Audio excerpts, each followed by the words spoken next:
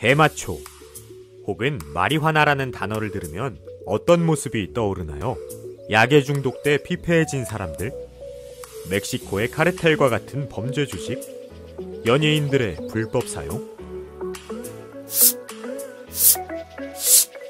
마약의 일종으로 대마초를 생각할 때 쉽게 떠올릴 수 있는 이미지입니다. 그런데 이런 대마초가 사람을 치료하는 데 쓰인다는 사실 알고 있었나요?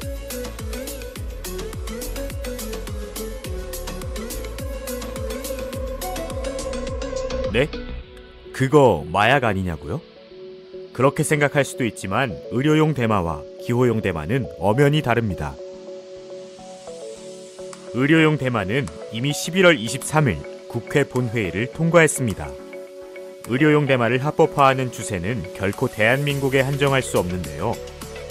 이미 미국에서는 1996년 캘리포니아주를 시작으로 2018년 6월 기준 31개 주에서 의료용 대마 사용 또는 대마 프로그램을 허용하고 있고 15개 주에서 제한적으로 사용되고 있습니다.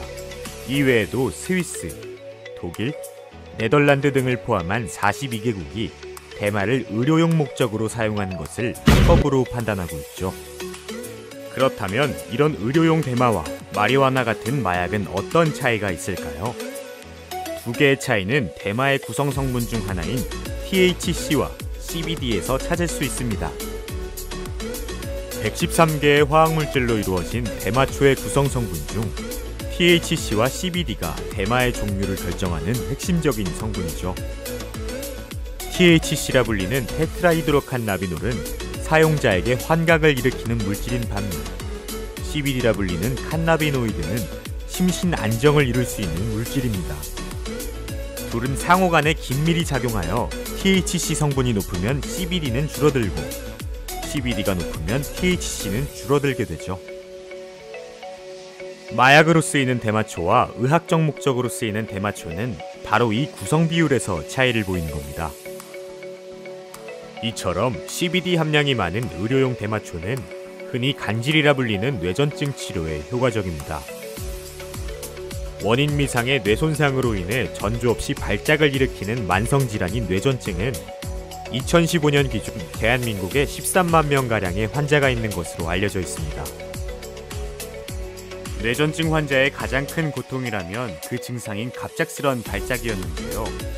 대마초의 CBD 성분이 그 증상 완화에 큰 도움이 된다는 연구 사례가 계속 나타나고 있습니다. 이처럼 대마초의 CBD는 뇌전증이란 질병을 치료할 수 있는 성분으로 그 의학적 가치가 충분합니다. 그러나 CBD 함량이 높다고 대마초의 모든 구성 성분을 의학용으로 사용할 수는 없습니다. 현재 한국에서는 독자적으로 대마초에서 CBD 성분만 추출할 수 있는 기술 개발이 이루어지지 않고 있죠.